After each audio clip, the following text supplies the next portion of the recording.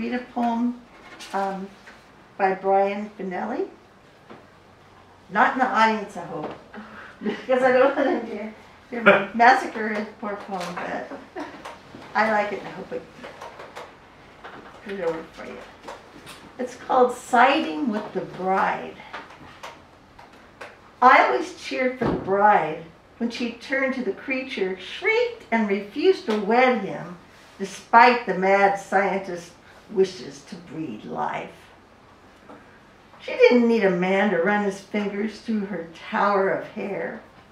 Those white streaks crooked, crooked like lightning bolts that brought her to life, delivered her to the scalpels of a man's hands.